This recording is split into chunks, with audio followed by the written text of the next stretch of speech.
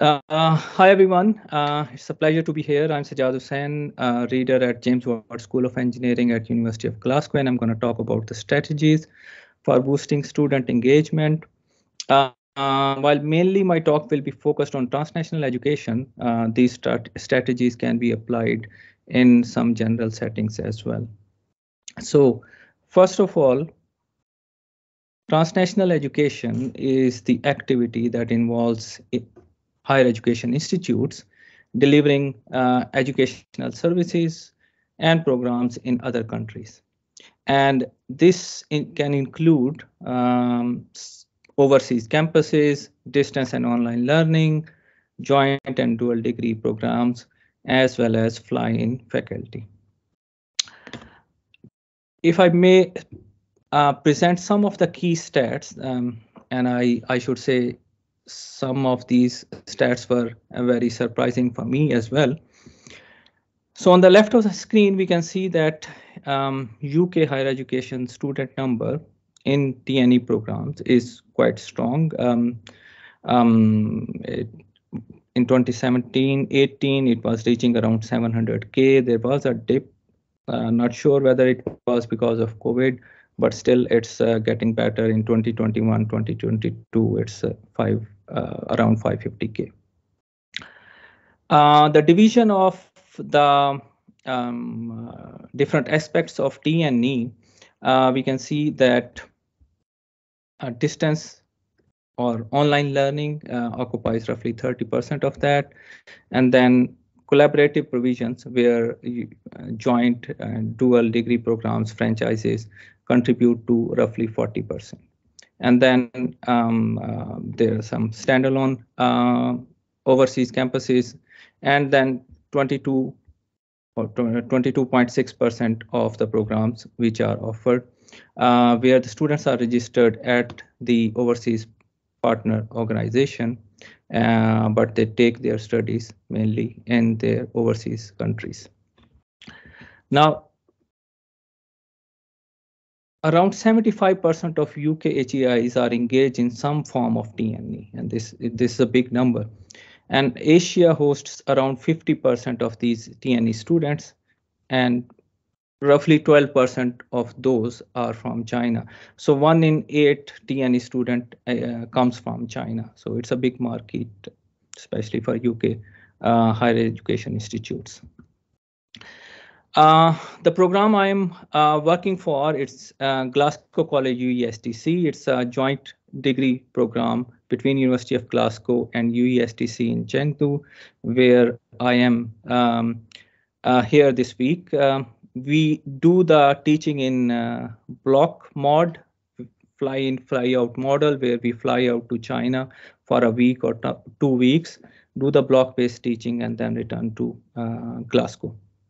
So we have um, roughly uh, 3,000 students in um, steady state. The, the program started in um, 2013. We recently celebrated the 10 years anniversary. It's mainly in electronics and electrical engineering uh, with some changes in the flavor uh, that is triple E with communications and microelectronics. And last year we started the same these programs at another location in China uh, called Hainan. Right. So the challenge of uh, challenges of TNE, um, especially in China, but again, it will apply to um, some other TNEs as well. Uh, so the literature says that uh, uh the Chinese students, um, they have this face-saving um, harmony and collectivism um, that uh, that influences their the way they communicate especially in a setting where there are large number of people around. And uh, and they, they prefer to do the indirect communication. So instead of, uh, for example, raising the questions within a classroom, uh, they would like to see you either private or they might like to write to you. So the difference in culture, learning styles. So for example, uh, while many of the Western institutes uh, um, advocate for student-centered learning, the Chinese uh, educational system is mainly uh, uh, instructor focused. The language barrier is another um, another barrier that can that that impacts the successful student engagement, and the time zone difference is another factor because when uh, people are going to sleep in one location, the other side is waking up, and it, at times it become it delays the response to the queries of the students, and therefore um, there is a lag. And what I personally found was that the technology and especially the uh, social engagement platform can play a very uh, vital role to enhance the student engagement. So I will give some examples of the tools that I have tried and uh, these will be a diverse range of uh, tools um, ranging from uh, simple polling uh, tools to collaborative learning approaches. Um, I've been using these tools even pre-COVID, uh, but during COVID, the use of these tools have uh, enhanced, um, increased a lot, and the availability of different resources have become uh, widespread. So I will start by uh, a, a, very simple and very effective um, uh, way of engaging with a student is via the polling. Uh, some of the tools are Slido or Polls Everywhere, and even Zoom and teams can uh, support the polling. And wh why do we want to do that? Um, one feature in some of these tools is that you can get anonymized student participation. And what I felt, especially in the context of China, people don't want to attach their names to what they are saying. So you can collect anonymized uh, uh, responses from the student that, can enhance the student contributions. And then within your lecture setting, you can set up these quick polls and get a very, um, uh, very efficient uh, um, feedback on how you have been teaching or how your concepts have been delivered to the students. And you can quickly adapt your teaching methods accordingly. So uh, uh, just as an example, I wanted, I, I gave them um, a lecture on something, then I gave them a short quiz, look, looking at the uh, the the stats from that uh, polling, I found that students have got this idea. and I've been able to successfully uh, deliver that concept, so I need to move on further. Similarly, for with the weather uh, with a, a word cloud, you can quickly see how the key concepts are being uh, taken up by students, so you can um, adjust your uh, teaching methodology accordingly. Another tool that I've tried is called Piazza, uh, but the same kind of uh, um, impact can be achieved with the uh, different tools like Teams and Slack.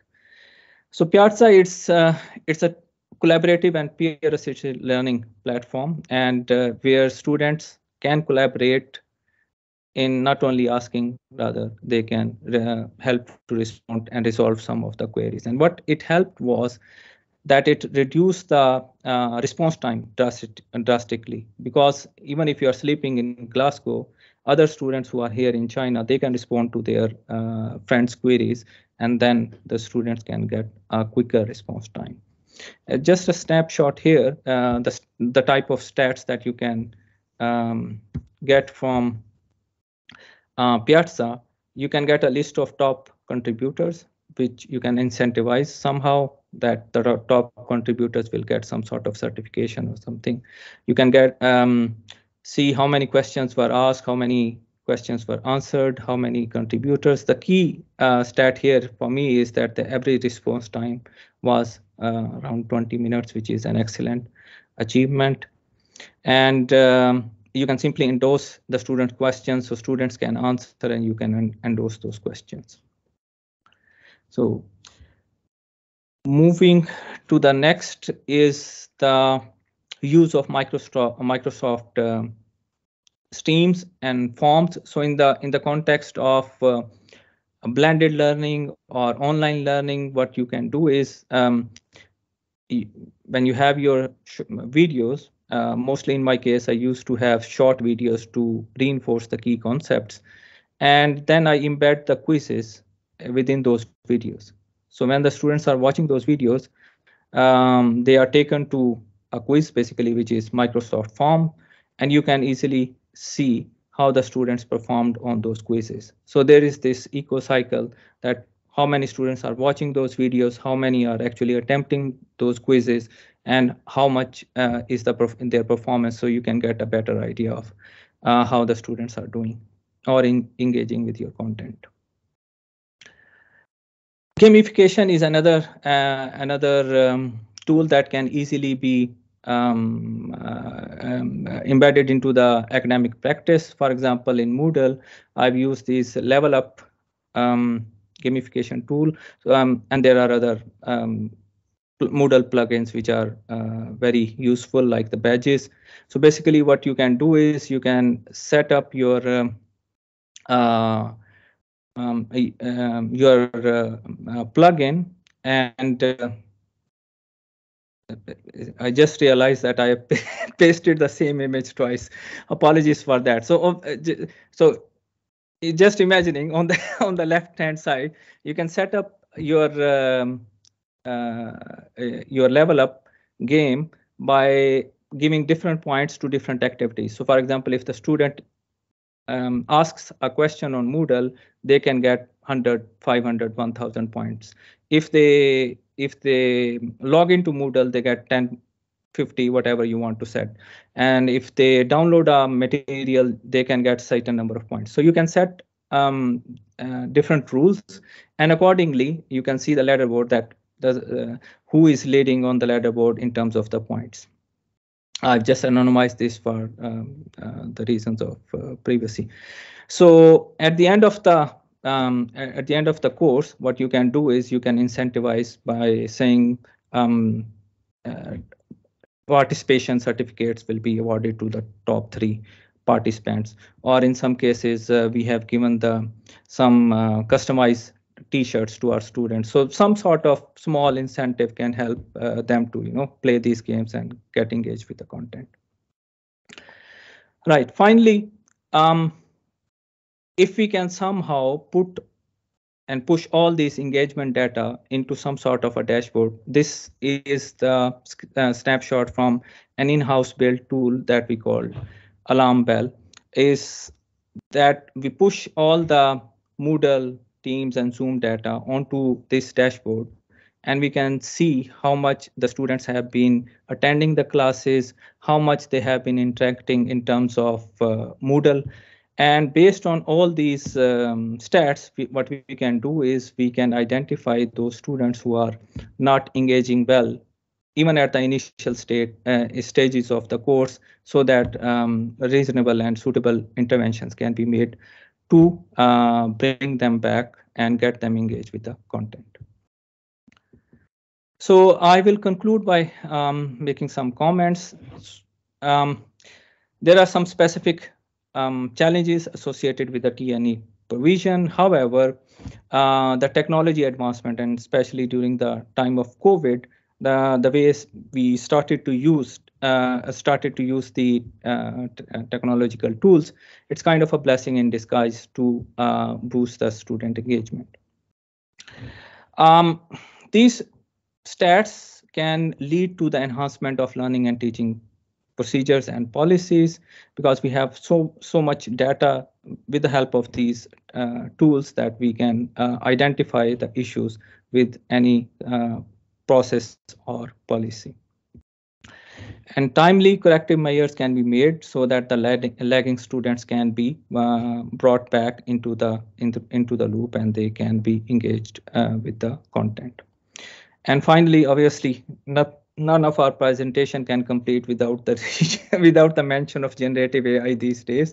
I think it's going to play a very vital role because the customized and tailor-made content is going to help us uh, engage the students uh, further. So that was all from my side. Thank you very much.